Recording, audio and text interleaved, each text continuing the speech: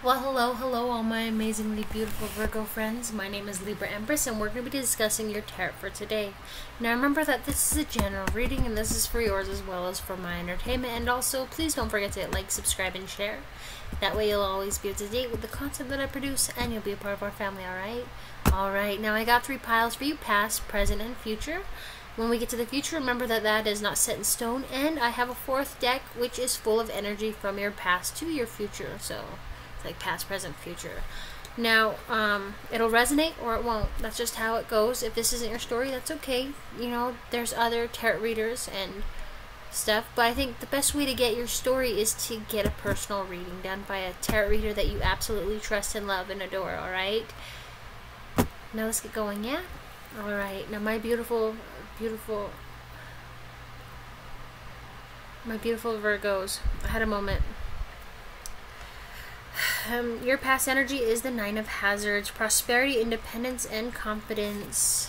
So while the world was losing its head, you kept a cool, calm, collective. You know, you're building from nothing. Knight of Swords, brave, ego, lack of emotion. You're dealing with a Libra, Gemini, or an Aquarius. Someone who rushes into a situation headstrong, head first, and makes waves. Think of it as like a storm on the ocean like the like the air comes in and you know the storm comes in and it riles it up and it changes the ocean and gets it thinking and moving and flowing. And then it slowly dissipates out of there. And the ocean is still a little bit of elect electricity going through it right? Yeah.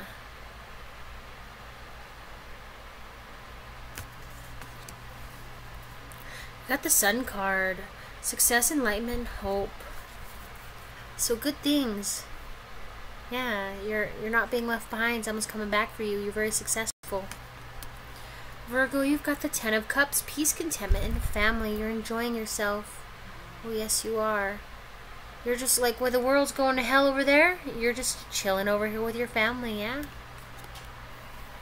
Alright, current energy is the Ten of Swords disaster, rotten, ruin, and destruction. So you are fighting for everything you have, and everybody wants to keep taking, taking, taking.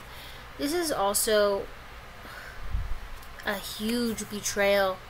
Someone really, they're not right in the head, they're really fucked up in the head. Hurt you mentally, emotionally, or physically. Take it as it is.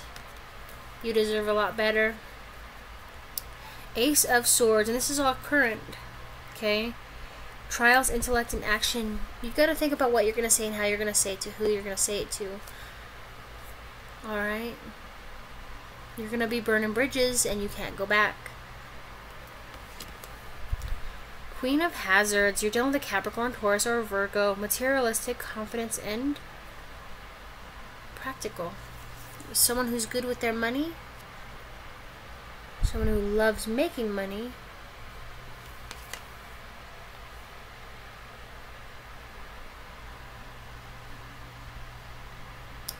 Sorry, my phone is going off. Um, cool, man. okay, so this Queen of Hazards, she's a hard ass on the outside, but a soft and gooey ass on the inside, alright?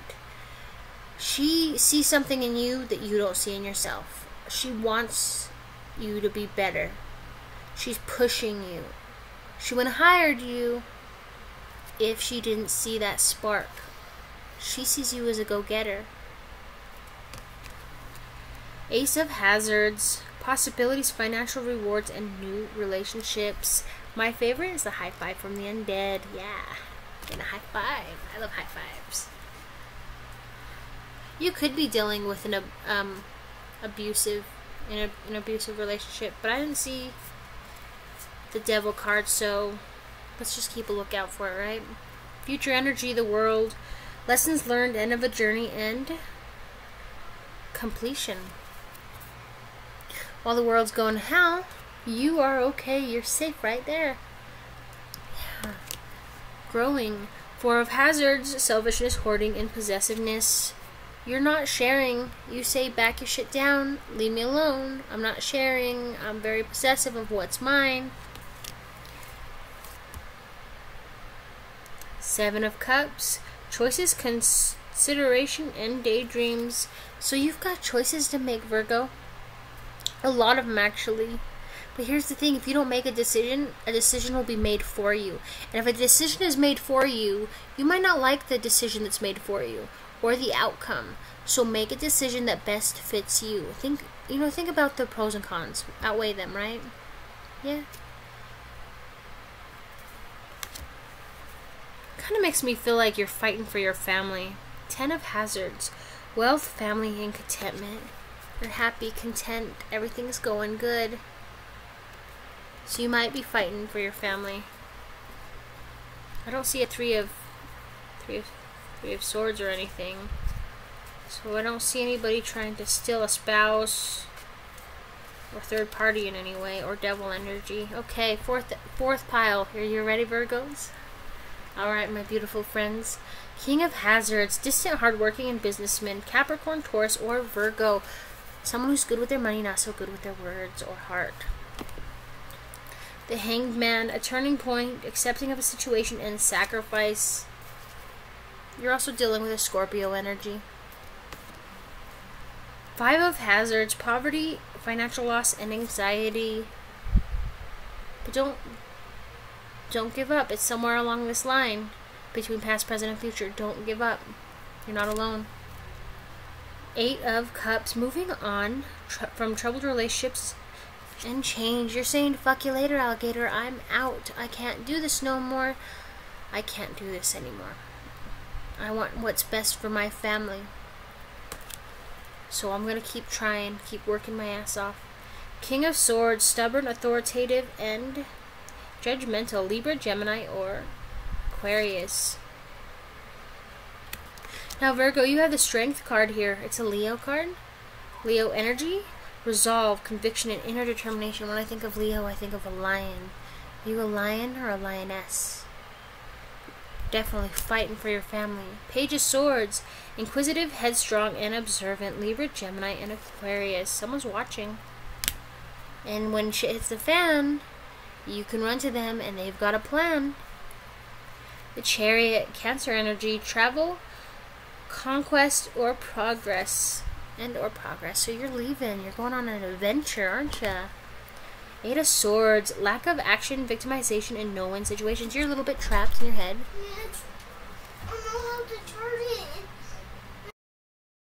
Sorry about that. I had to pause it. My little boy, he the battery in the paddle died, so I had to reset it and plug it in for him. So we're good now, so he can continue playing Sonic on the on the Xbox. Anyway, let's continue on. Now, my beautiful Virgos, Eight of Swords, lack of action, victimization, and no-win situations. You're feeling like you're trapped in your head. Yes, you do, but you're not. I promise you. Two of Wands, choices, crossroads, and decisions. You've got a choice to make. Make it wisely.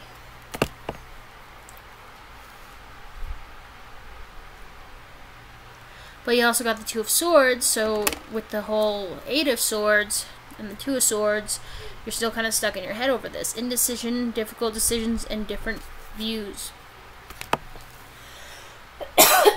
Sorry.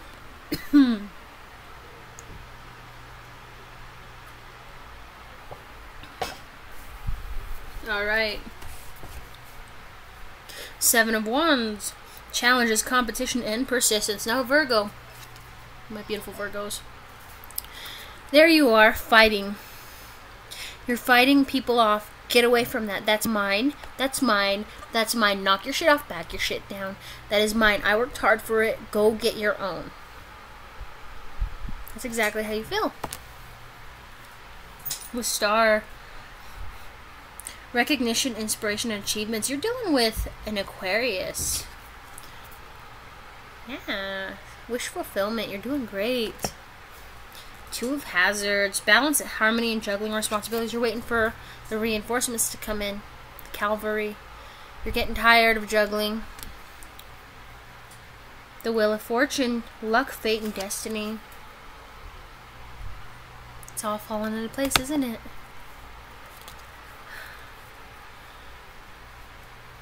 Alright, you've got the Knight of Cups. Romance, adventure, and moody. Cancer, Scorpio, or Pisces. Oh, yeah. This is the player card, though. Do you want to be played? Oh, hell no, you don't. But this might be someone you know.